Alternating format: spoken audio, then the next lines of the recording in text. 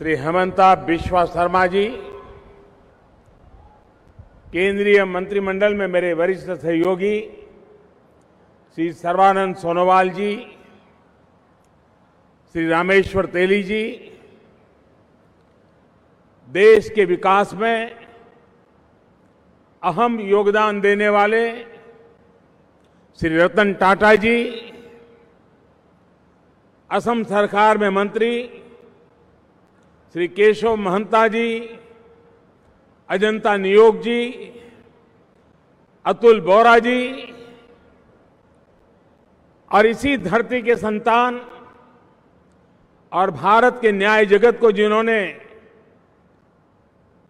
उत्तम से उत्तम सेवाएँ दी और आज कानून बनाने की प्रक्रिया में संसद में हमारे साथ दे रहे श्रीमान रंजन गोगोई जी,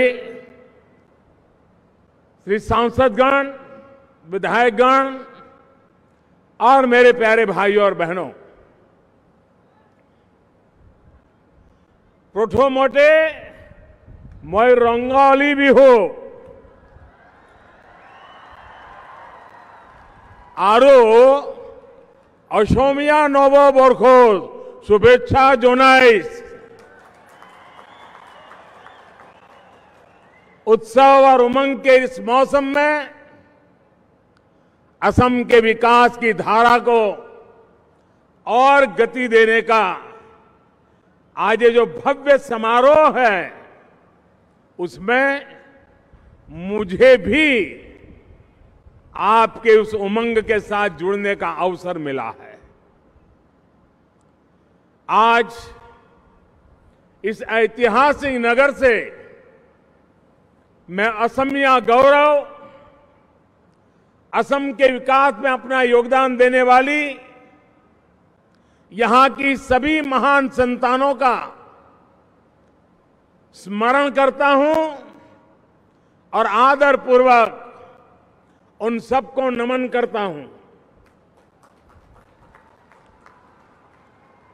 साथियों, भारत रत्न भूपेन हजारिका जी का गीत है, बोहाग माठो, एटी ऋतु नय न होय बोहाग एटी माँ। असोमिया जातिरी आयुष रेखा, गोनो जियोनो रेखा। असम की जीवन रेखा को अमिट और प्रखर बनाने के लिए हम दिन रात आपकी सेवा करने का प्रयास करते रहते हैं। इसी संकल्प के साथ बार बार आपके बीच आने का मौका मन करता है।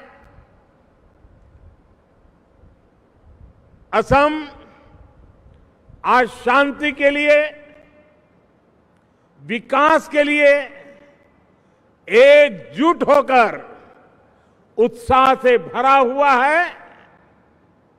और मैंने अभी थोड़ी देर पहले ही कार्बी आंगलोंग में देखा और मैं अनुभव कर रहा था।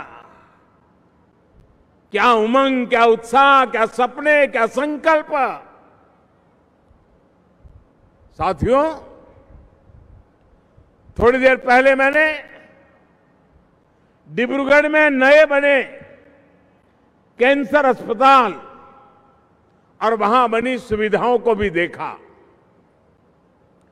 आज यहाँ असम के सात नए कैंसर अस्पतालों का लोकार्पण किया गया है।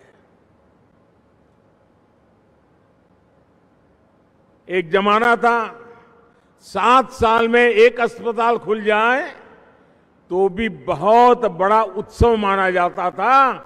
आज वक्त बदल चुका है। एक दिन में, एक राज्य में सात अस्पताल खुल रहे हैं।